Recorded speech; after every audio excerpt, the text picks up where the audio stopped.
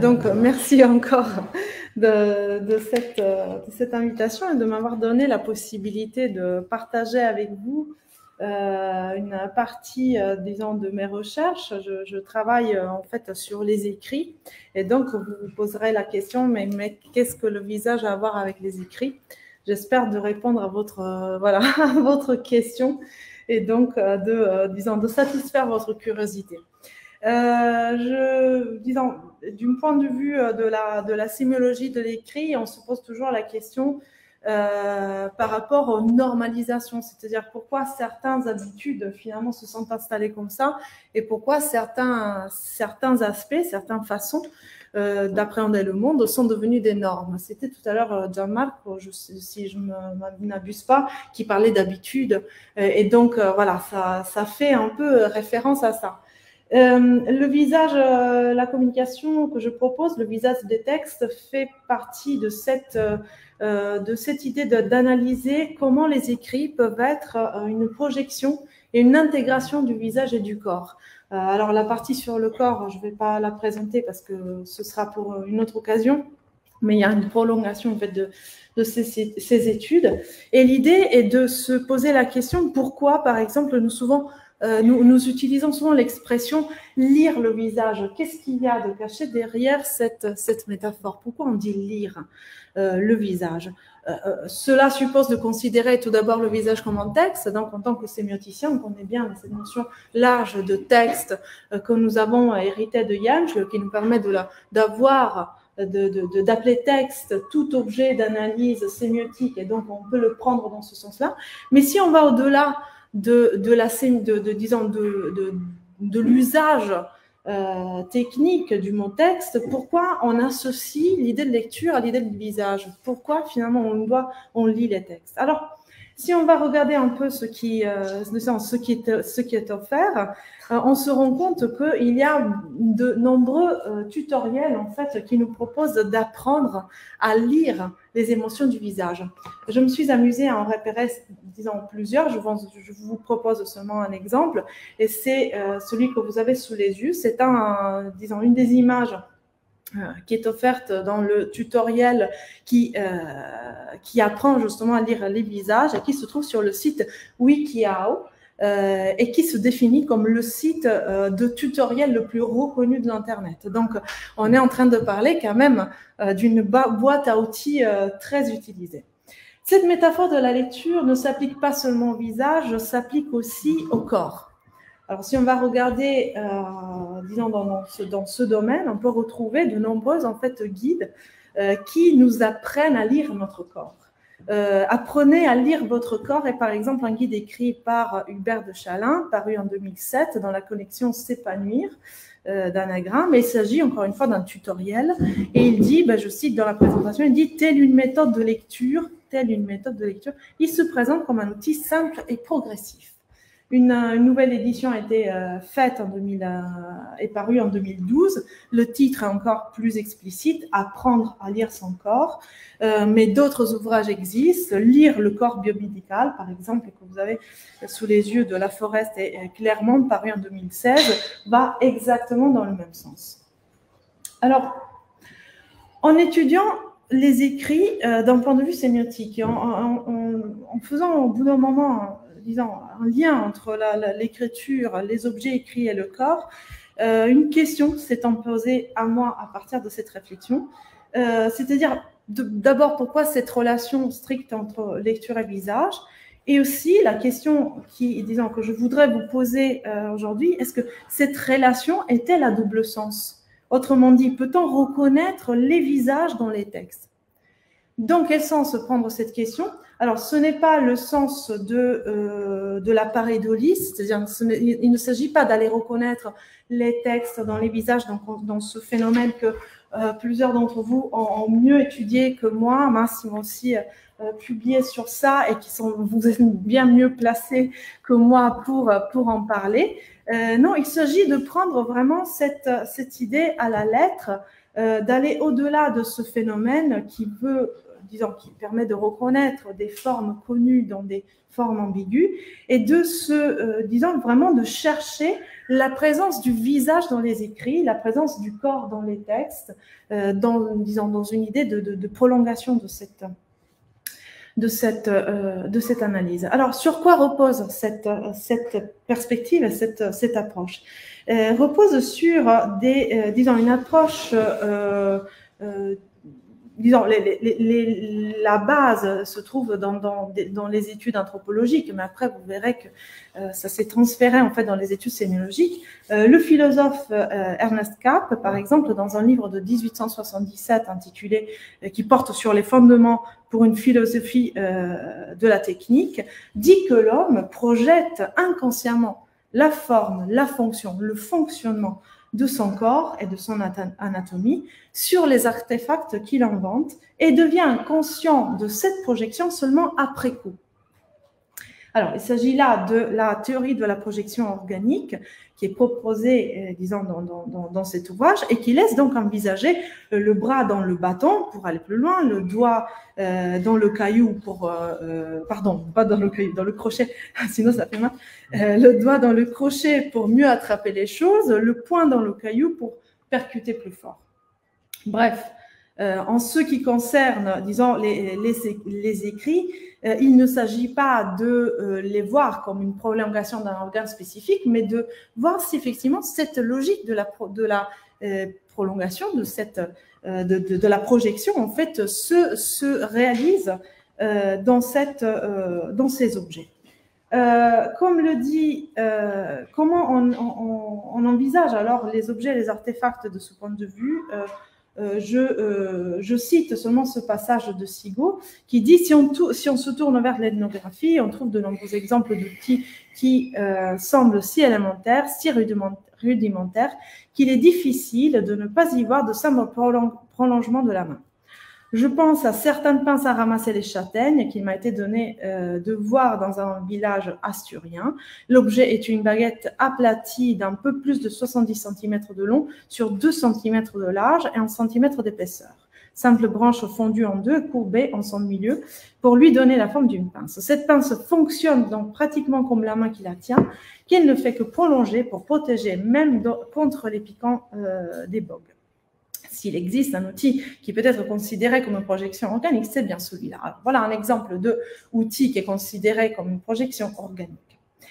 Euh, les corps, ces parties, ces fonctions, donc sont dans, cette perspective peuvent être considérés comme ceux qui prolongent en fait, euh, comme euh, sont prolongés dans cette perspective dans l'espace investi et dans les objets produits en raison de la nature même du corps humain, de ses limites et de ses besoins. Dans le domaine de l'écriture, ceci correspond en fait à l'approche de Jack Goody. Jack Goody, dans son livre qui euh, intitulé La raison graphique, euh, la domestication de la pensée sauvage, euh, dit que l'écriture représente l'achèvement d'un processus d'externalisation d'existence en dehors du corps de l'énonciateur, de toute connaissance qui se trouve en fait, qui trouve sa propre formulation particulière et qui est projetée dans ce qu'on peut appeler, euh, voir un objet, qui peut devenir objet. Donc la pratique d'inscription sur un support graphique passe par une disposition organisée des informations selon un certain format qui sont inscrites, donc disposées, organisées sur une surface graphique. La disposition des, éléments graphiques, linguistiques et non linguistiques, révèle donc euh, un ensemble de relations graphiques signifiantes, dont le sens est sous-entendu par l'application, la transgression de normes, donc d'habitude, qui réglementent la pratique d'écriture au sein d'une culture particulière. Le fait de reconnaître dans l'écriture une méthodologie intellectuelle suppose donc le fait de reconnaître tout d'abord et tout simplement dans l'écrit un objet, un artefact. Bien, qu'est-ce que, euh, que ça, a un rapport en fait avec le visage? Ben, Pour euh, remettre en fait, euh, remettre ensemble les différents fils, je vais évoquer une dernière référence qui est celle à, André Louragourin, qui, dans le geste à la parole, dit que le, toujours disant dans, dans, le sillage de cette théorie de la projection organique, dit que l'écriture finalement, c'est ce qui permet de relier là, euh, refaire le lien entre la main et l'outil, entre le visage et le langage. L'objet d'écriture donc rétablit la coordination entre la main et le visage au sein de l'activité linguistique et donc permet de voir la façon que l'homme a de, disons d'observer le monde tout en observant l'objet écrit, tout en observant cet, artefact particulier. Alors, qu'est-ce, que, qu'est-ce qui se passe alors quand on regarde l'écriture, euh, les objets écrits tout en faisant attention à cette relation que Laura Gorin, disons, euh, met euh, souligne, c'est-à-dire celle, celle que entre écrit, objet, main, visage et langage. Alors, l'hypothèse que je vous propose est la suivante, et que nous, l'exploration que nous faisons de l'espace écrit, de l'espace graphique, réplique l'exploration que nous faisons du visage. Mais dans quel sens? Alors, euh, je me suis appuyée sur des, euh, des études euh, faites, des études sur la fixation oculaire, notamment chez les enfants et chez les adultes qui ne présentent pas de troubles cognitifs. Donc, dans un, dans un cas de, disons, d'exploration du visage normal, selon les Chez l'adulte, comme le disent les auteurs cités, chez l'adulte tout venant, tout venant pardon, l'analyse de l'activité visuelle déployée lors de l'exploration de photographie représentant uniquement un visage révèle que les traits internes, comme les yeux ou la bouche, sont préférentiellement regardés par rapport aux traits externes, comme le front, le menton ou les oreilles. De plus, parmi les traits internes, les yeux sont les plus longtemps, euh, longtemps regardés. Ces résultats concordent avec l'idée selon laquelle les visages, en particulier les yeux, sont des stimuli hautement saillants chez les personnes neurotypiques, et ce, dès les stades les plus précoces du développement.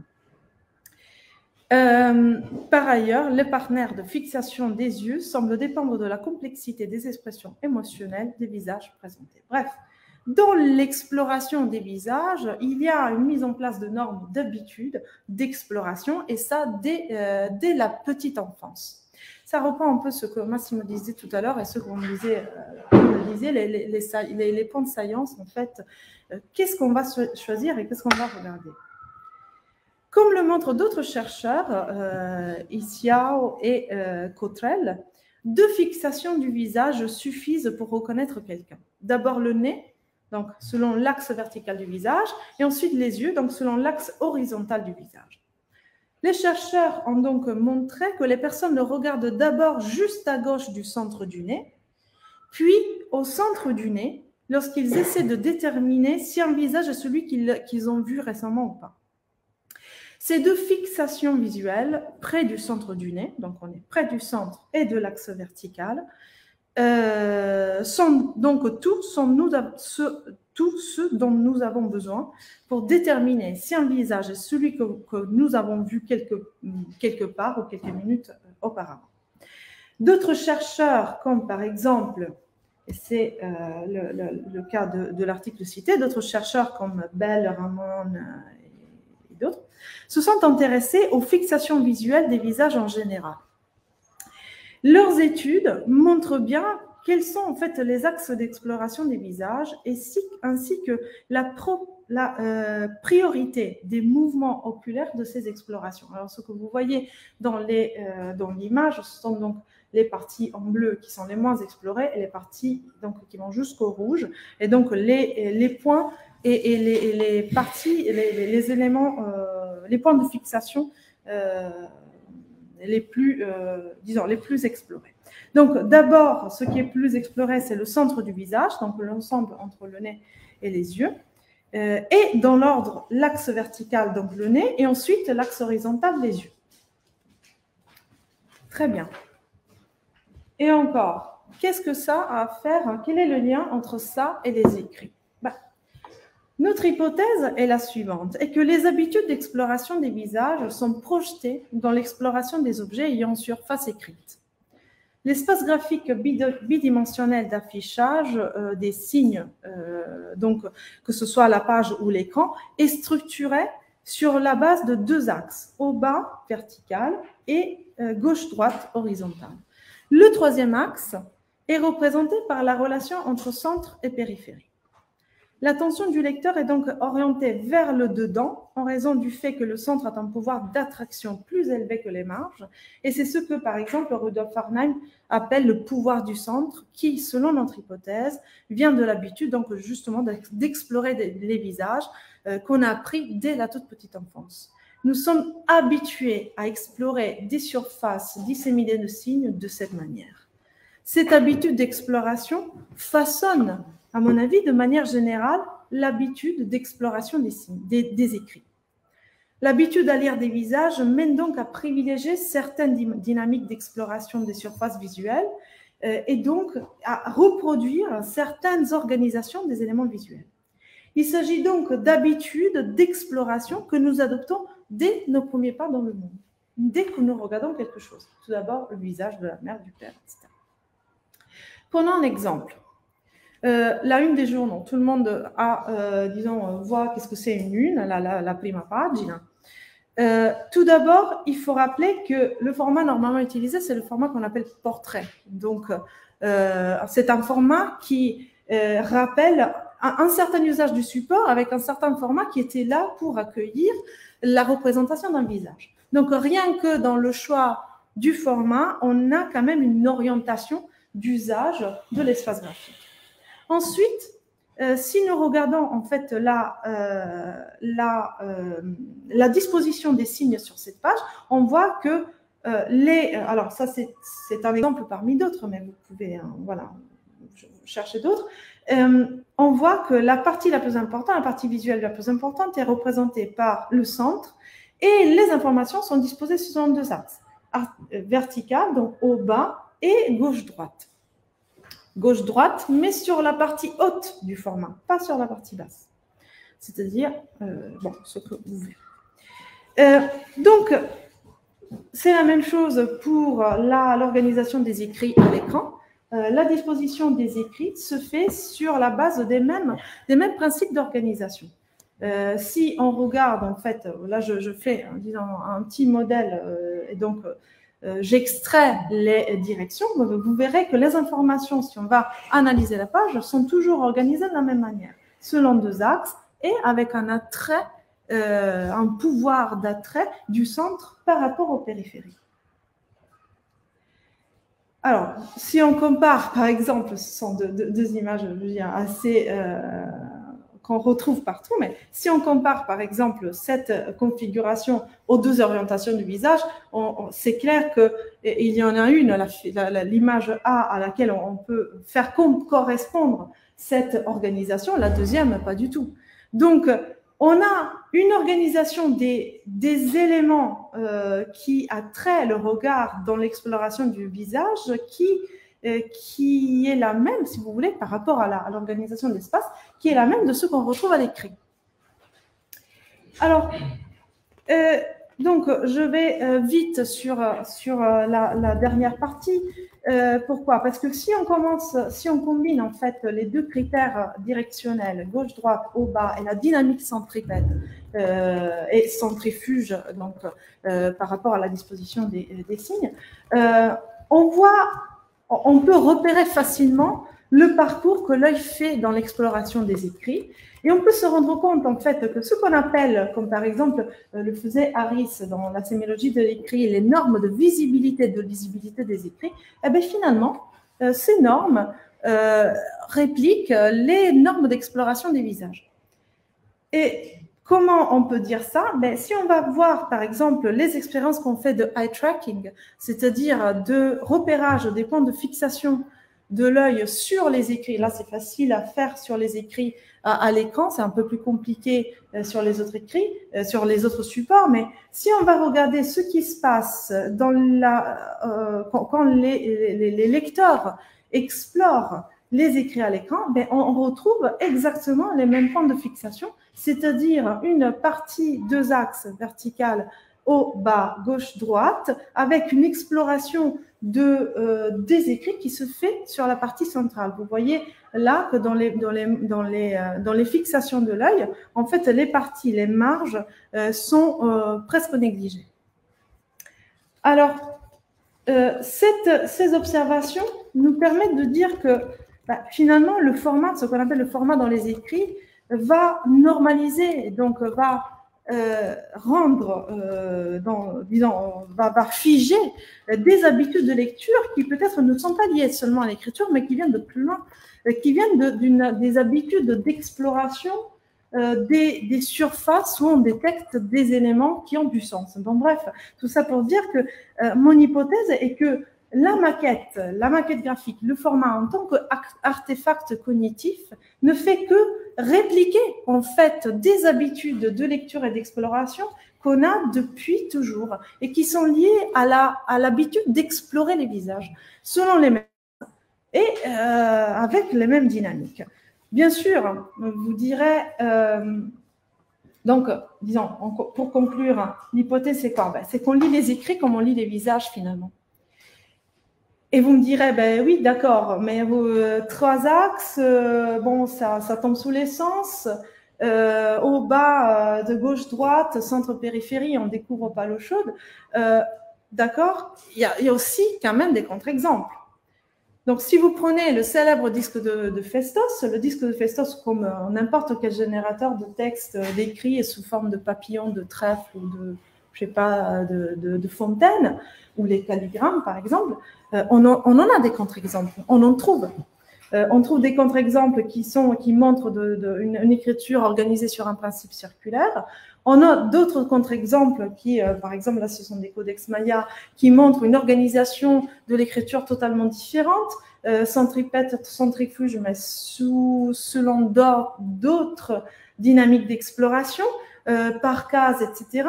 Mais ma question reste quand même la, la même. Si des contre-exemples existent, pourquoi c'est pas ces contre-exemples Pourquoi ce sont pas-ils qui sont devenus la norme? Voilà. Je euh, vous remercie.